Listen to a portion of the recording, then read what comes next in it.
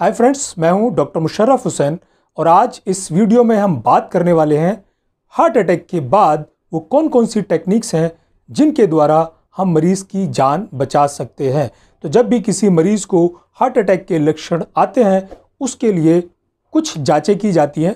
Basic जाँचों में ECG echocardiography या ट्रोपाई से पता लग जाता है, लेकिन एक कन्फर्मेटरी जाँच के लिए कि कितना ब्लॉकेज है, उसके लिए हमें एक एंजियोग्राफी करनी पड़ती है और उसको बाद में आर्टरी को खोलने में या आर्टरी को रिपेयर करने में मदद मिलती है। तो बात करते हैं कि एंजियोग्राफी को कैसे किया जाता है।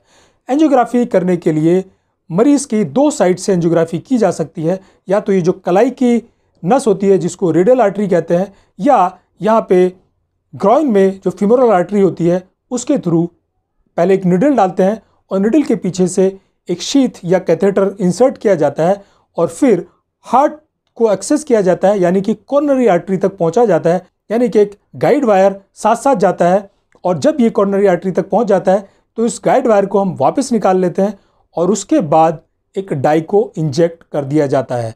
जैसे डाई को इंजेक्ट कर दिया जाता है, अब ये डाई कॉर्नरी आर्टरीज में चली जाती है। लेकिन अगर कहीं पे ब्लॉकेज होता है तो ये वहाँ पे नैरो हमें दिखती है आर्टरी जिससे ये पता लग लग जाता है कि कौन सी आर्टरी में और कितना ब्लॉकेज है। एंजियोप्लास्टी कैसे होती है? तो जैसे ही आपके डॉक्टर को ये पता लग जाता है कि इस कॉर्नरी आर्टरी के इस एरिया में ब्लॉकेज है, फिर से ये जो गाइड गाइड वायर पहले डाला हुआ था, उस गाइड वायर पे एक बैलून के साथ फिर से इसको इंसर्ट किया जाता है, उस एरिया तक जहाँ पे ब्लॉकेज है। और जैसे ही ये वायर विद बैलून इस ब्लॉकेज एरिया तक पहुँचता है, फिर इस बैलून को इन्फ्लेट कर दिया जाता है। और आप देख रहे होंगे, जैसे ये बैलून इन्फ्लेट होता है आर्टरी भी एक्सपेंड हो जाती है, जिसकी वजह से जो ब्लड है वो आगे की तरफ़ जाने लगता है, यानी कि ब्लड सप्लाई नॉर्मल हो जाती है। और यही एक ऑब्जेक्टिव होता है इस प्रोसीजर का, जिसको हम बैलून एंजियोप्लास्टी के नाम से जानते हैं। लेकिन बैलून एंजियोप्लास्टी के बाद फिर भी एक खतरा बना रहता है कि कहीं फिर से ब्लॉकेज ना हो जाए, या आर्टरी की वॉल्स वापस फिर से ना आके नैरोइंग कर दे तो उसके लिए हमें वहाँ पे एक स्टेंट प्लेस करना होता है।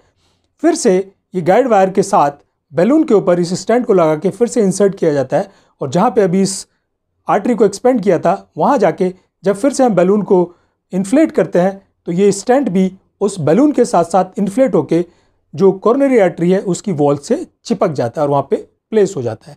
इस तरीके से जो ब्लॉकेज था, वो परमानेंटली रुक जाता है और इसका फिर से रिकरेंस के चांसेस भी कम हो जाते हैं। उसके बाद इस जो गाइड वायर है, उसको वापस निकाल लिया जाता है और कुछ घंटों में इस शीत को भी निकाल दिया जाता है।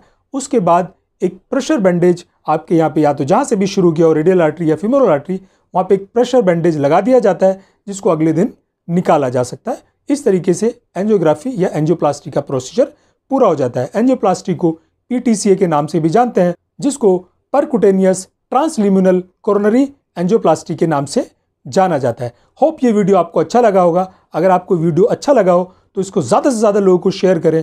और अगर आप चैनल पर पहली बार आए हैं तो चैनल को सब्सक्राइब करना बिल्कुल ना भूलें। बेल आइकन का बटन भी दबा लें सो दैट आपको सारे इस तरह के इन्फॉर्मेटिव वीडियोस समय पे मिलते रहें। Thank you